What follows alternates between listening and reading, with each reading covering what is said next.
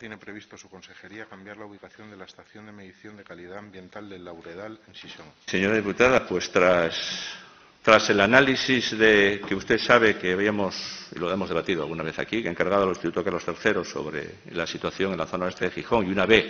que el informe ya se ha emitido, estamos ahora mismo iniciando la fase de contratación o vamos a iniciar la fase de contratación de esa estación de tal forma que esté en servicio, vamos a intentar que esté en servicio, vamos, estará en servicio con toda seguridad en el primer semestre del, año próximo. Muchas gracias.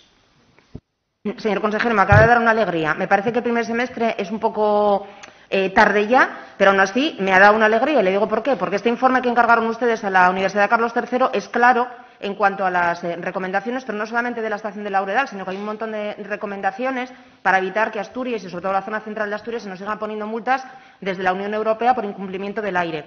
Y, francamente, si ustedes son capaces de intentar acelerar, o, hay mm, fórmula posible de acelerar algo que ya tendría que estar, tendría que estar eh, hecho, y lo sabe usted, hace unos cuantos años, pues no vendría, no vendría nada mal. Es muy importante que esa estación de Lauredal esté fija y esté colocada donde dice el informe, en este caso el informe de salud de la Universidad Carlos III, pero también porque es importante, eh, bueno, es importante que eh, nos comprometamos a no tener, insisto, más multas por contaminación del aire o por eh, bueno, pues las partículas contaminantes que tenemos en el aire, que además son, muchas. Y es importante porque debemos de llevar un control y porque lo que se espera, en este caso de un, de un Gobierno que tiene una consejería donde mm, destaca fundamentalmente el hecho medioambiental, pues debemos de demostrar eh, compromiso, debemos demostrar responsabilidad y debemos demostrarle y explicarle a toda la sociedad, y cuando hablo de toda la sociedad hablo de vecinos, de vecinas y hablo también del tejido empresarial, que hay una normativa que se ha de cumplir, que es una normativa que afecta fundamentalmente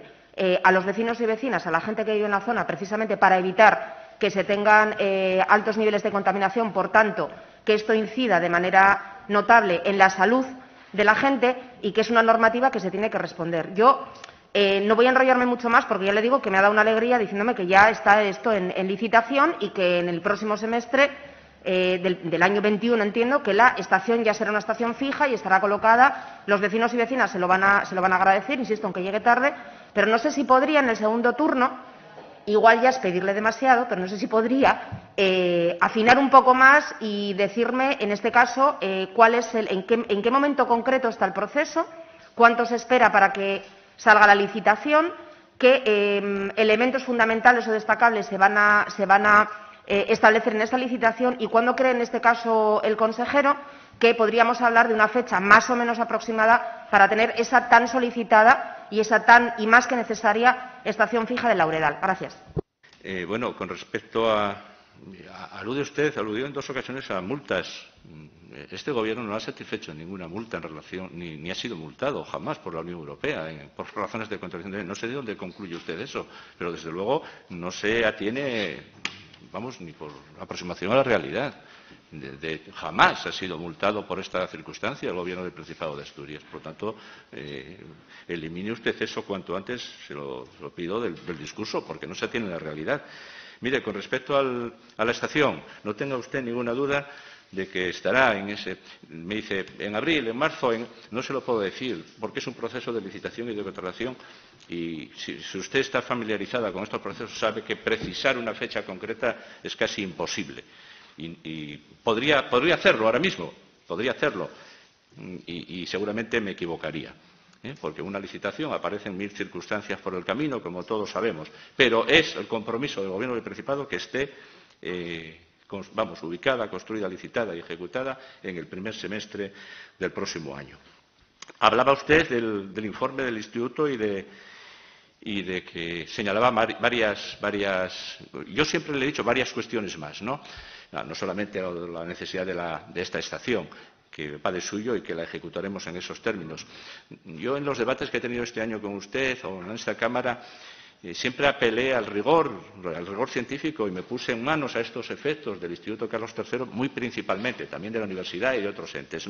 Y vamos a cumplir. No, hemos, contra lo que se dijo siempre, no es que ustedes piden informes, informes, no, vamos a cumplir en sus propios términos todas y cada una de las recomendaciones del Instituto. Hablaba usted de algunas cuestiones más, pues, pues claro, pues también, al margen de la estación.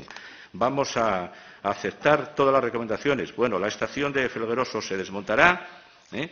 Pero mm, moveremos la estación, probablemente la estación de Monteville, que es una recomendación que nos hace también el Instituto. Lo haremos, lo haremos. También eh, lo mismo en relación con la de la República Argentina en donde se nos está diciendo que, bueno, se, recomienda su reubicación para mejorar la toma de datos, pues también lo vamos, también lo vamos a aceptar y valoraremos también si están suficientemente, son adecuadas las estaciones de Constitución y de la Plaza Castilla. En todas esas eh, afirmaciones complementarias o recomendaciones que hace el informe no van a caer en saco roto y las haremos nuestras, las haremos nuestras y usted será testigo de ello. Por lo tanto, eh, en definitiva, quédese usted tranquila con respecto a, lo que está detrás de la pregunta, que si vamos a atender todo esto, que lo haremos. Y de paso, y concluyo, ya le, anuncio, aunque ya lo debe saber, que, se ha publicado hoy, antes de venir para aquí, he firmado la publicación en el BOPA del, plan de, la información pública, la, salida de información del plan de calidad del aire de la zona oeste de Gijón por lo tanto, en los próximos días tendrán ocasión todos los ciudadanos y ciudadanas de eh, decir lo que, su parecer con respecto a las medidas que ahí se van y que se podrán ver a partir del día de hoy en el boletín oficial o de mañana del BOPA. Nada más y muchas gracias.